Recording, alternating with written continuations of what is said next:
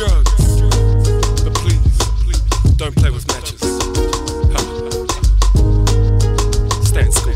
Once upon a time and Never Never last, the a boy with 100 grand in his hot little hand. So we plan to invest his money to make more maturity and for high interest accounts offshore. Before, in his young eyes, money didn't matter. Empty pockets never held much, like a pregnant woman's bladder. But once he had her, had a taste for the cheddar, there was no turning back. Watch go, shoes leather.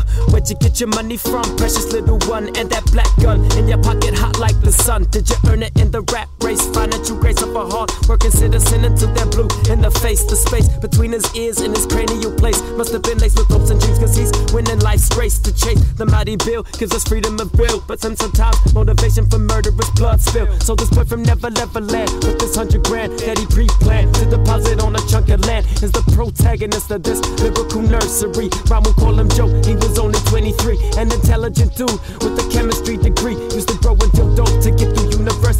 Got mixed up with a little bitty drug called P. A twisted entrepreneur of chemical fixes. See, articulately spoken deep when he was smoking, like to get rinsed to the point where he was soaking. He was hoping this would be his ticket to be affluent. Dealing methamphetamine, he thought he cracked it. When JoJo was dealing straight cannabis by the truck, 50 for a bag, 20 hug for a quick fuck. But it's like 10 times the dough for the crystal. Time to allow for business to grow. So we ventured to the market so he could convene and search for anything based with pseudoephedrine. I guess that you win for the cost to make his concoction. Detergents and bleaches to aid in production. About fucking time he commenced the cooking. Still had his whole chem book that he could keep looking over.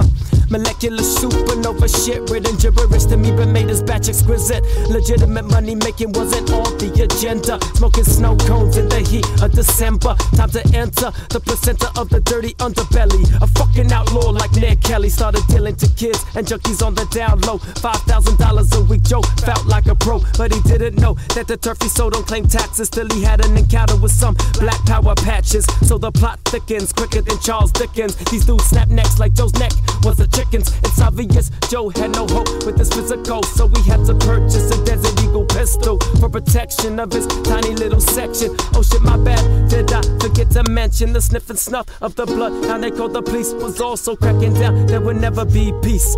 Joe was facing life without release. Time to get out the game. Time to get off these streets. Cuts open his mattress. Time to liquidate. Get out the game and run before shit's too late. But wait, Joe decided to cook one more for the road. In the process, made his house explode. Oh no, oh no, oh no, oh no, oh no.